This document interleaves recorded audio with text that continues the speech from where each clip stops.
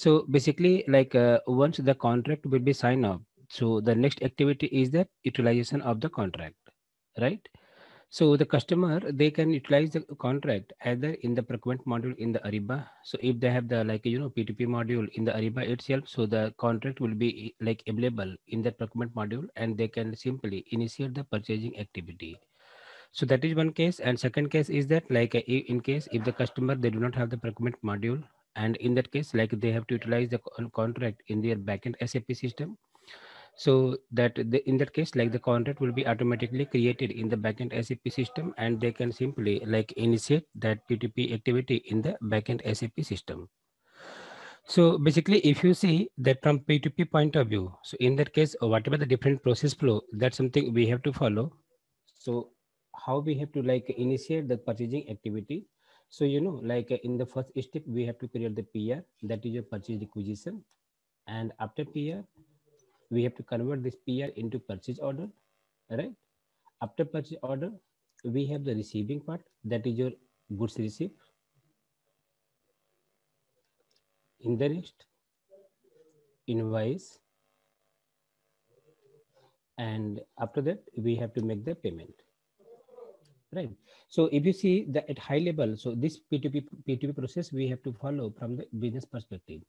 So this is something high level process flow, but inside that we have some other process as well. So for example, like after PO, if we require to receive that POC, POC means purchase order confirmation, or if you require to like receive that advance shipping notification, that is ASN, so that option is also available. So in case like if you require to receive the order confirmation, we can just uh, add this step here, that order confirmation, and in the next, we can also receive the ASN as well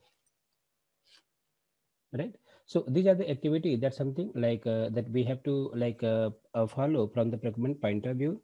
And so just to perform all this activity from the procurement point of view that ariba has given that downstream module and sorry not in downstream basically ariba has like introduced this procurement module and with the help of the procurement module we can simply initiate any purchasing activity and we can end up with the payment okay so even the same thing like that just I written here in the top side. So whenever that user, they have to create the PR. So in that case that we require that access of the purchasing user. So the purchasing user person who that the, the person, they will have the authorization to create the PR. And in the PR, like uh, once the PR will be created, so based upon the approval process, if that will be in place, system will trigger the approval process. And uh, once the PR will get fully approved, the PO will be generated automatically in the Ariba. So remember, this is one change in the Ariba as compared to our SAP system that in SAP Ariba that we do not have any option to create that purchase order manually. So the PO will be created automatically, but with reference to PR. That means every PO will have the purchase requisition and without PR, we cannot create any purchase order in the SAP Ariba. Okay. So once the PO will be created, so automatically with reference to the PR, so in the next step, that PO will be transmitted to Ariba network. So, you know, like uh, as we earlier discussed, like uh, whenever we are creating any purchasing document in the Ariba, it is getting transmitted to supplier via the Ariba network. So it will uh, automatically transmitted to Ariba network and that uh, supplier will receive that like purchase order and once the supplier will receive the purchase order so he will have the options to con confirm the po that is the part of the like po confirmation. And if they required they can also submit the asn as well. Asn is nothing. Asn means essential for the advanced shipping notification. Okay? So after this like uh, they will supply the goods and from the buyer side that we have to like uh, perform the goods receipt. That's something we have to do in the ariba itself. This activity the buyer they have to do and after receiving the goods that invoice will be created. So basically from the invoice point of view that we have the two option. One option is that like uh, that uh, the supplier the supplier they can create the invoice themselves on the ariba network and the same invoice information will also be reflected in the buyer side. This is one case. And in second case in certain case if the supplier they are submitting some hard copy invoice we'll talk about the that other case like in uh, in few minutes. So in certain cases if the supplier they have submitted that hard copy of the sub invoice so in that case we have to create that invoice like in our ariba site manually. That's something we have the option. And once the invoice will be created so based upon the configuration what system will do system will perform the two-way and three-way match. So basically like uh, you know we have another term in the sap ariba that is invoice reconciliation. So what will happen like once invoice will be created so system will start that uh, like reconciliation of the invoice. So reconciliation of invoice is nothing. That means that a validation of the invoice. So based upon that like uh, configuration that system will start the two-way match or three-way match if your site is configured for the two-way match, system will perform the two-way match. That means from invoice to purchase order.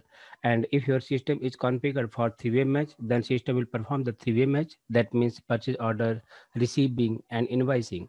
So in that case, system will check all that conditions, all that configuration. So for example, if you have configured the invoice tolerances, if you have configured that like you know that uh, conditions for the purchase order quantity equal to that invoice quantity, that means the system will check how much quantity is like posted in the invoice and how much quantity we have raised in the purchase order. So accordingly like if the system will find any like you know that issue or any that is like a differences in that case system will raise the exception. So it will send the exception like uh, it will like uh, send the exception to the invoice manager or invoice agent and the invoice agent they have to come and they have to like uh, correct that exception manually so this part also we will see in the system like uh, how the exception is looks like and how we have to like you know rectify that exception. Okay? So this is something just high level like it like a p2p process that a every company they have to follow who is like uh, purchasing the goods for their business purpose. All right? All right.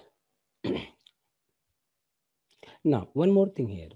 So you know like uh, how like uh, what are the ways are available to create the purchase requisition in the sap ariba? That's something also we have to discuss. So before going to in this let me just go back in the sap so i i hope like uh, most of the peoples are from the sap background so they can easily understand. So you know like whenever we have to create the purchase requisition in the backend sap system so we have the two options. One option is that we can simply create like uh, you know like uh, with, with with the help of the material master. That means we can select the material master and we can simply create the purchase requisition. That is a, a first option. Second option is that in certain case if we do not have the material master so in that case without material master we can also create. So in that case what we have to do we have to simply like uh, uh, just add the short text so with the help of text, we can create the purchase requisition in the backend SAP system. So same way, same functionality is also available in the SAP Ariba and we can use that functionality to create the requisition. So basically that those functionality or those process is not called as the, not the same, same way. So we have different term in the SAP Ariba.